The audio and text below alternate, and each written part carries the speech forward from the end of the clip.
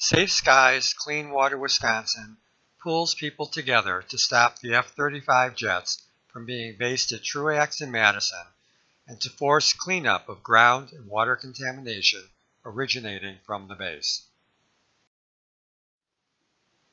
The Midwest Environmental Justice Organization was the first to alert people about a proposed base expansion at Truax. They have been studying contaminants coming from the base and the impacts on the surrounding neighborhoods, most with low income and minority populations.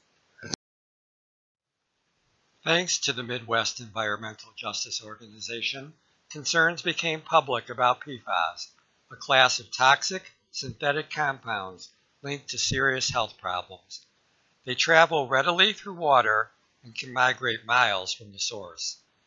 Firefighting foam used at Truax for decades in exercises by the Air National Guard, county, and city is the primary source of PFAS contamination in Madison waterways and wells. Putting out an F-35 fire and training to put it out would require up to 10 times the amount of firefighting foam due to the composite materials that make up the jet's construction. In late 2019, the Wisconsin Department of Natural Resources released a study showing that high concentrations of PFAS were found in Starkweather Creek near the air base and in fish found in both the creek and in Lake Monona. Local government committees are finally beginning to recognize and address the problem. Truax plans significant expansion of the base to prepare for the F-35 jets. This construction would unearth PFAS and other contaminants that have been leaching into the ground for decades. The military has declined to fund cleanup of existing PFAS contamination. Another reason for alarm, in 2018, the Department of Defense released its nuclear posture review prominently naming the F 35 as a core part of its strategic nuclear force. The B 6112 nuclear bomb is designed especially for the F 35 and considered usable by government and military officials. This means that Madison could be an enemy target by housing delivery vehicles for nuclear weapons. This mission of the F 35 could increase the risk of a global nuclear war. The F-35 itself was proposed in 2001 and has been in production since 2011. It has been plagued with multiple setbacks, cost overruns, and safety issues. It is still a work in progress. The Air Force admits that F 35 fighter jets can be up to four times louder than the current F 16s. In addition, the number of flights would initially increase by 47% over current levels. Long term exposure to these projected noise levels poses a number of health risks, especially to children and vulnerable adults. The Air Force released a draft environmental impact statement in August 2019 comparing five sites under consideration to host the jets and asked for public comments.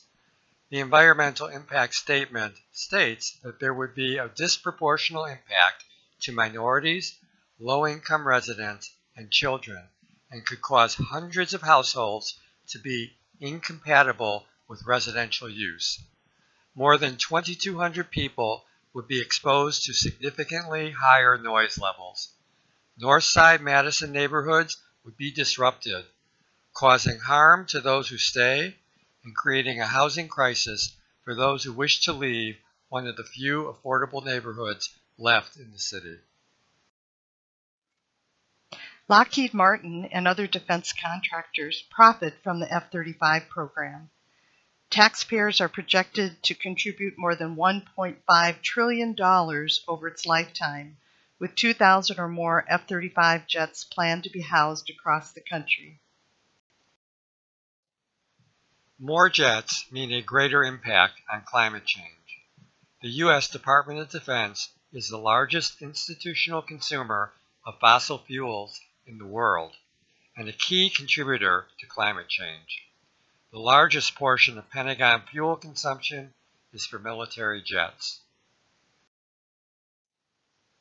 Early in 2019, Safe Skies Clean Water Wisconsin began to research the issues, educate the community, and mobilize citizens to voice their concerns to elected officials and the media. Many public officials changed their position after becoming aware of the negative impacts to their constituents. Hundreds of people turned out to comment in opposition to the F 35 proposal at the Alliant Energy Center. Hundreds more attended community meetings and spoke to the impact the F 35s would have on their lives. People testified in support of a resolution opposing the F 35s at a city council meeting. Individuals, environmental, and community groups submitted a record number of comments to the Air Force in response to the environmental impact statement. Everyone in the city of Madison and the state of Wisconsin will bear the economic cost, disruption, and safety threats if the F-35s are based in Madison. But the impact on climate change and global instability will have a far-reaching effect.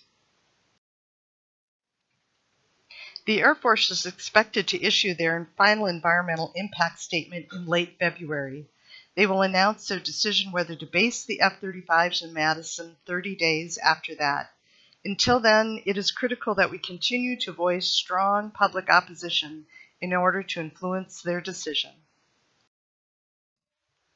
We demand no TRUAX base expansion until existing PFAS and other contamination is cleaned up and we have guarantees that no more will be created. No increased noise levels, frequency of flights, or greenhouse gas emissions. No disruption or relocation of communities surrounding the base. No financial burden on residents of Madison or Dane County. No support or encouragement for any equipment or mission that might include the proliferation, transport, or use of nuclear weapons. No, F 35s! For more information, visit our website at safeskiescleanwaterwi.org.